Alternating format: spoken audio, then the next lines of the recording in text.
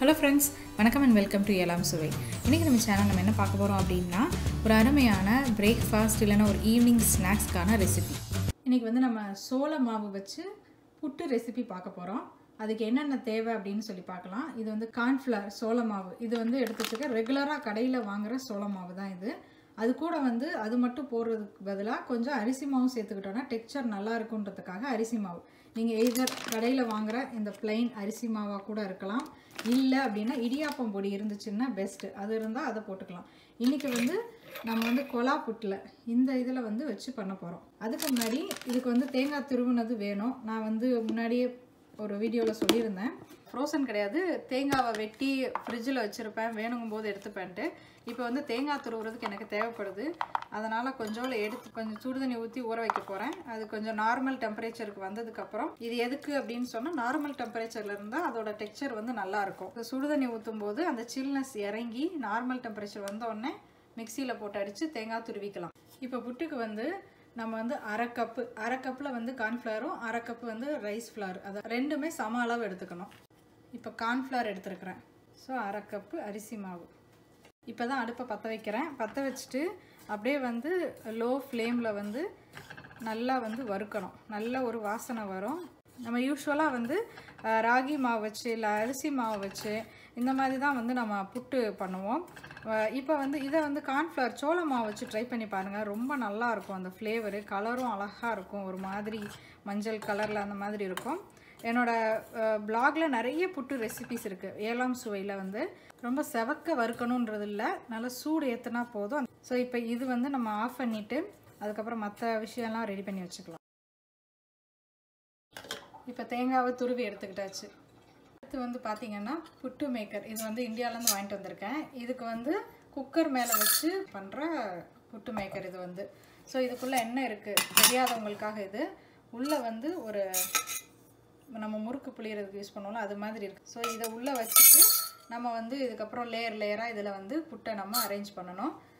அதுக்கப்புறம் பார்த்தீங்கன்னா இதுக்கு ஒரு மூடி இருக்குது இதிலருந்து ஆவி வெளியில் வரும்போது புட்டு ரெடி ஆயிடுச்சுன்னு அர்த்தம். ஸோ அது ஒரு கணக்கு பத்து நிமிஷம் கணக்குனா கூட இதுலேருந்து ஆவி வெளியில் வந்துச்சு அப்படின்னா பர்ஃபெக்ட் டீ குக்கர் இருக்குது ஸோ அதில் வந்து கொஞ்சம் தண்ணி எடுத்துருக்கிறேன். ஸோ நம்ம விசில் போடக்கூடாது. கேஸ்கெட் போடுவோம். ஆனால் விசில் போட மாட்டோம்.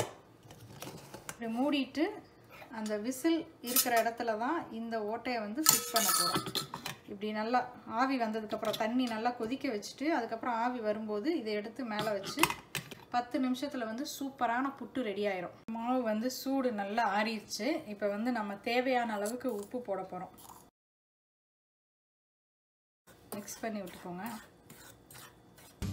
புட்டு செய்யும்போது எப்பயுமே தண்ணியை தெளித்து தெளித்து தான் வந்து பிசையணும். ஏன்னா தண்ணி அதிகமாயிடக்கூடாது அது மட்டும் இல்லாமல் தண்ணி கம்மியாகவும் ஆயிடக்கூடாது ஸோ அதனால் நம்ம தெளித்து தெளித்து அந்த கரெக்டான பக்குவம் வர அளவுக்கு நம்ம எல்லா இடத்துலையும் ஈரப்படும் தண்ணி நிறைய ஊற்றிடக்கூடாது ஸோ தண்ணி கம்மியாக இருந்தாலும் ரொம்ப ட்ரையாக இருக்கும். இதோட பதம் எப்படி அப்படின்னு பார்க்குறதுக்கு இப்போ காட்டுறேன்.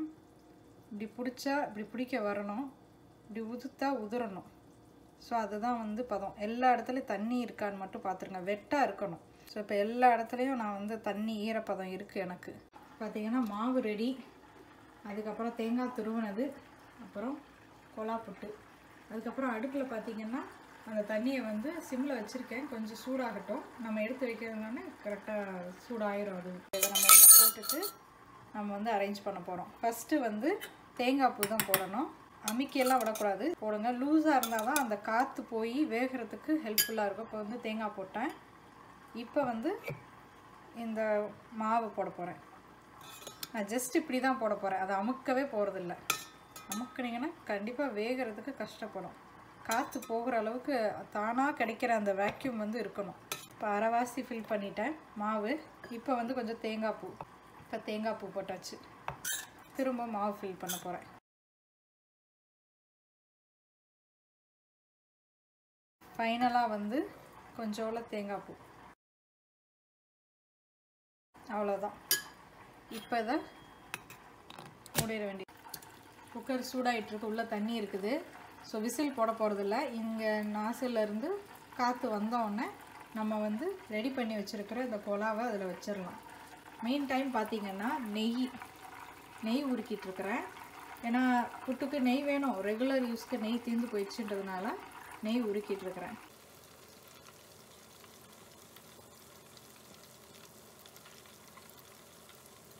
இப்போ பார்த்தீங்கன்னா குக்கர்லேருந்து காற்று வர ஆரம்பிச்சிருச்சு. இப்போது கொலா புட்டை வச்சிடலாம் ஆக்சுவலி இந்த கொலாவோட கீழேயே ஒரு ட்ரம்மு மாதிரி வரும். அதில் நீங்கள் தண்ணி வச்சுட்டு அது தனியாக அதாவது கொலா புட்டுக்குன்னே நீங்கள் அதை தனியாக வச்சுக்கணும். அந்த மாதிரி இருக்குது இடத்த அடைச்சிக்கிட்டு இருக்கோம் அப்படின்னு சொல்லிட்டு நான் வந்து இந்த மாதிரி வாங்கிக்கிட்டேன் ஸோ தட் என்கிட்ட இருக்க குட்டி குக்கர் அதே மாதிரி அந்த குண்டா மாதிரியே இருக்குது. ஸோ அழகாக வந்து இப்போ ஒரு பத்து நிமிஷம் டைம் வச்சுப்போம். இந்த ஓட்டையிலேருந்து நல்லா வந்து ஆவி வெளியில் வரணும். வெளியில் வர்றது வந்து ஒரு இண்டிகேஷன் ஒரு மாதிரி கோல்டன் ப்ரௌன் கலரில் வருது. ஆல்மோஸ்ட் ரெடி ஆயிடுச்சு. ஸோ இப்போ வந்து நல்லா ஒரு கருவேப்பிலை நல்லா கழுவிட்டு இந்த கருவேப்பிலையை இதில் போட போகிறோம் அப்படியே வந்து அந்த கருவேப்பிலை வந்து பொறிஞ்சு வரும். பொறிஞ்சு வந்து நான் இதோடையே விட்டுருவேன். ஃபில்டர் கூட பண்ண மாட்டேன் நான். ஏன்னா அந்த கருவேப்பிலையை எடுத்து சாப்பிட்லான்ற மாதிரி. நல்லா பொறிஞ்சு வரும். ஸோ நம்மளோட நெய் ரெடி இப்போ நம்ம ஆஃப் பண்ணிடலாம். ஆறுனதுக்கப்புறம் இதை வந்து பிரித்து ரெண்டு டப்பாவில் போட்டு வச்சுக்கணும். எதுக்கு அப்படின்னா ஒரே டப்பாவில் போட்டிங்க அப்படின்னா சம்டைம்ஸ் என்ன ஆகும்னா நம்ம கையை வச்சு உழப்பிக்கிட்டே இருப்போம். வேஸ்ட்டாக போயிடும் அதனால் வந்து கொஞ்சம் கொஞ்சமாக எடுத்து யூஸ் பண்ணும்போது எல்லா நெய்யும் ஃப்ரெஷ்ஷாக யூஸ் பண்ணுவோம். எப்பயுமே நல்லாயிருக்கும் கைப்படாமல் இருந்தால் நெய் ரொம்ப நாளைக்கு வரும். இப்போ வந்து ஒரு பத்து நிமிஷம் ஆயிடுச்சு. பார்த்திங்கன்னா பத்து நிமிஷம் ப்ளஸ் வந்து இந்த தொலையிலேருந்து நல்ல காற்று ஸ்டீம் வெளியில் வந்துச்சு அப்படின்னா ரெடி ஆயிடுச்சுன்னு அர்த்தம். எல்லா இதுலேயும் நல்லா காற்று வருது.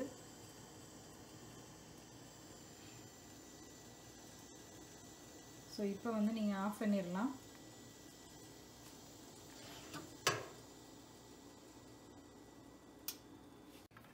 இப்போ நான் வந்து புட்டு எடுத்துடலாம். அந்த புட்டு மேக்கர் வந்து இந்த ஒரு பிளாஸ்டிக் ஹூக் மாதிரி வந்துச்சு. இது எதுக்குன்னா குத்தி அந்த புட்டை வெளியில் எடுக்கிறதுக்கு. அது எப்படின்னு காட்டுறேன். புட்டு வந்து பயங்கர சூடாக இன்னும் ஆவி பறந்துட்டுருக்கு. ஃபஸ்ட்டு இந்த மாதிரி மூடியை திறந்துட்டு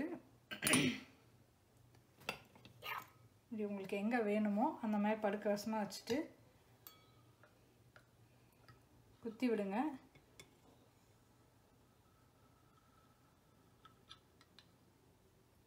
பாருங்கள் எவ்வளோ அழகாக வருதுன்னு.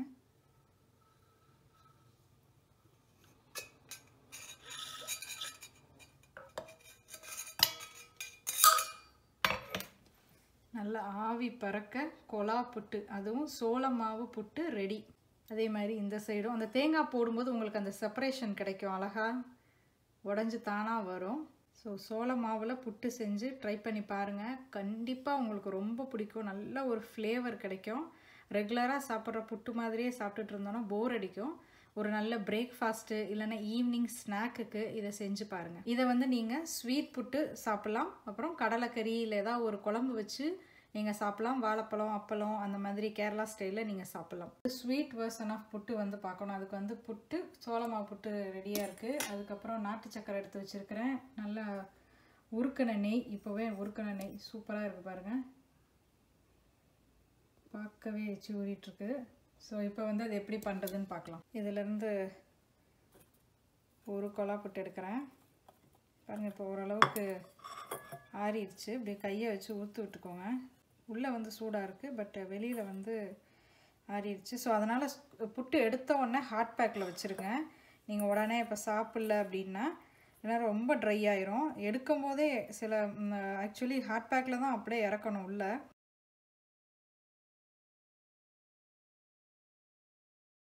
இப்போ வந்து தேவையான அளவுக்கு வந்து நாட்டு சக்கரை எடுத்துக்கோங்க. இப்போ தேவையான அளவுக்கு போட்டாச்சு. அதுக்கப்புறம் சுட சுட கொஞ்சோளம் நெய் போட்டு இந்த சூட்டோடு நீங்கள் போடும்போது அந்த நாட்டு சர்க்கரையும் கரைஞ்சிரும். உருண்டையாக இருந்தால் கூட அந்த நல்ல சோள மாவு புட்டு அதில் வந்து தேங்காய் நாட்டு சர்க்கரை நெய் மணக்க மணக்க நெய் சூப்பராக இருக்கும்.